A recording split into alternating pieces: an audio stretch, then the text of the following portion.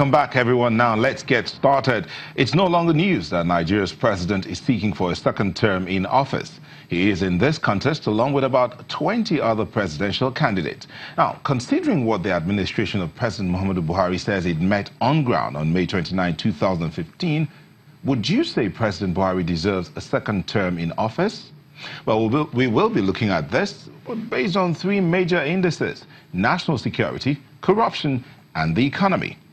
To help us look into this, we're joined by a chieftain of the All Progressives Congress, Honorable Farouk Adamu Aliyu, and the Deputy National Chairman North of the People's Democratic Party, Senator Gamawa Garba. Thank you, gentlemen, for joining us. Okay, so real quick, let me start with you, Honorable Farouk. Would you say that President Muhammadu Buhari, based on these three indices that we've put out there, security, economy, and anti-corruption, would you say the president deserves a second term?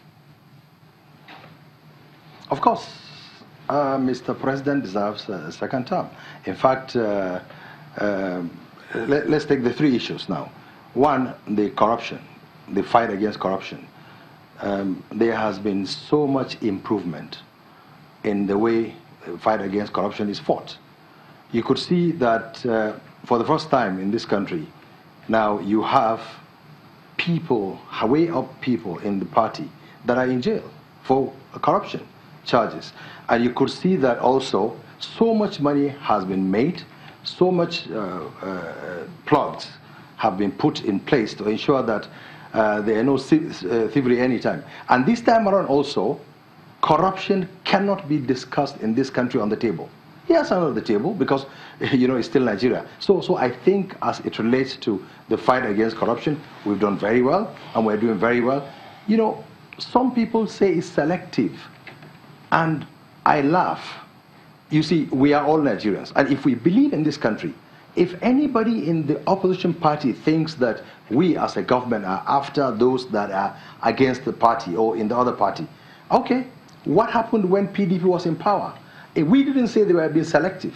Because look, this is a country that needs to continue. There should be continuity. One government is working and the other one comes to continue. We should be talking about selective. And look, even if anybody thinks that is selective, someday, one day, APC shall not be in power, you know, till death do us part.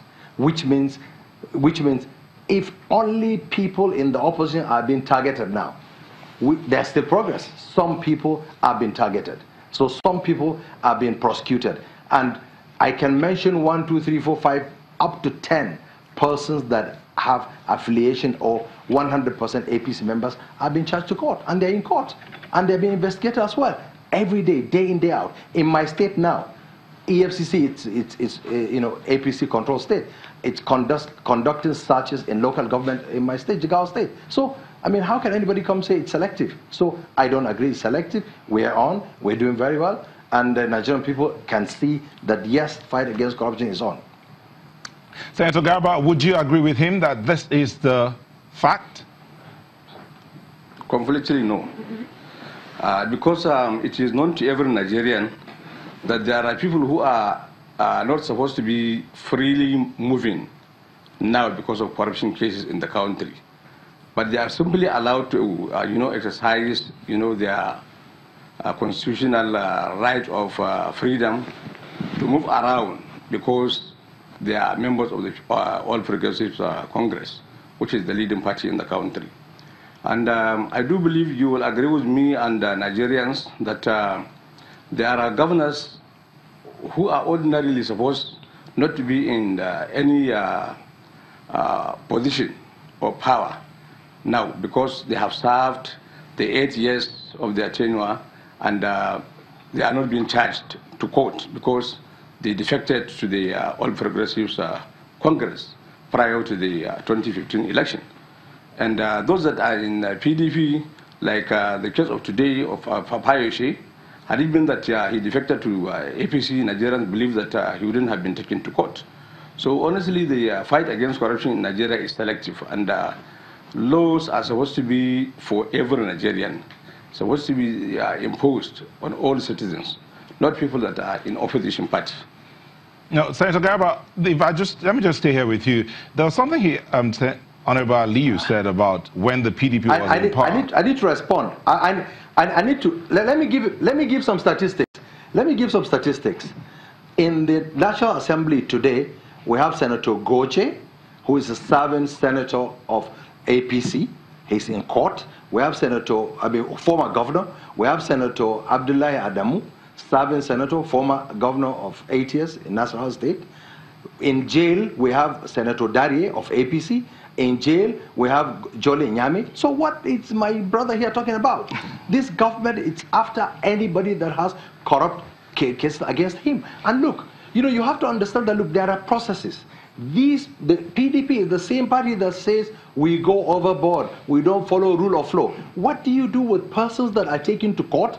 And if the court grants you bail, just like Fayose today, he's been granted bail and he's going to go free. So, so what, what, what is he talking about? As uh, far as fight against corruption is concerned, Nigerians know and they see, they are bearing us witness that look, it is true, we are fighting vigorously to ensure those that are caught with corruption cases are charged to court. And that's Ali, we since, we since you jumped in here, we can't just send them to jail like that. If I may come in here, since you jumped in, let me put this to you. There are some allegations about certain members of the president's cabinet, and they seem to be walking around free, and I'm sure that's what Senator Garba is hooking onto. Which one? Come again? Allegations against about against some members of the president's cabinet, some that do not have NYSC um, certificates. There are those who are who were indicted by commissions of inquiry, and they are still working on, and they're still part of the president's cabinet. I'm sure that's what Senator Garba I, is hooking onto. No, no, no. I, I assure you, anybody, anybody that has corruption cases, including ministers. Now, these are mere allegations. Like when you talk about Kemi, you know, she confessed, yes, she did something wrong, and she's being investigated. And you will see sooner or later she's going to be charged to court if she's found to have done anything wrong. The other minister who is also there is also, you know, he went to court. He went to court to challenge federal government and NYSC. So these are processes that have to be followed. If we don't follow process, then you said, look, we are being high-handed. So, so I want people to understand that, look, we are following the rule of law at due process.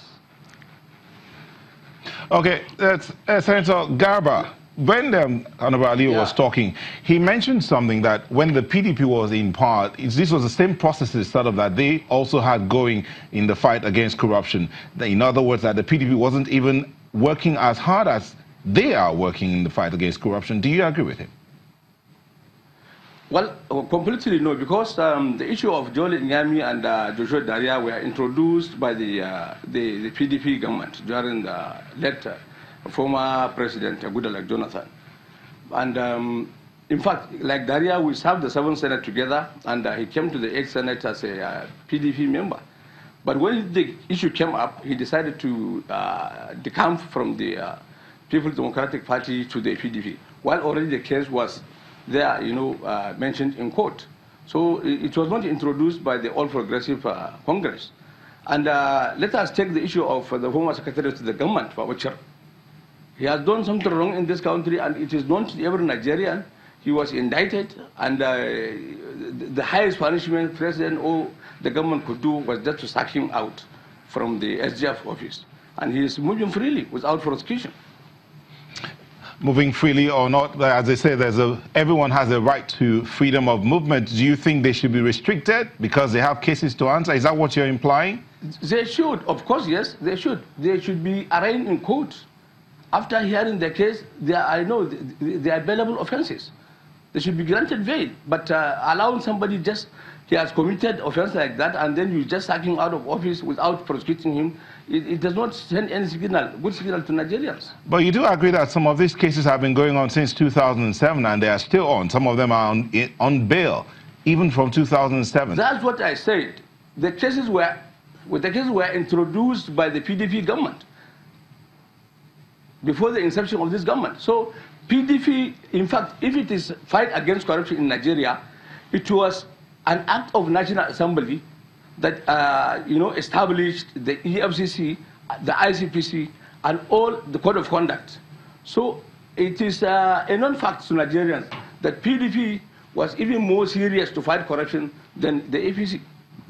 Because it was the party, it was the party, the, the, the party that were ruling then under the uh, Obasanjo's time that introduced the bill which enacted. All right, Senator Garba. The, uh, Senator Garba, if you if you just let me here, we'll have to take a moment and go on a quick break. When we'll come back, we'll continue to focus on these three indices, but this time we'll move to the economy of the two candidates of the PDP and the APC that have already been produced as presidential candidates. Which one of them would better handle the economy? We'll be back shortly. Please don't go away.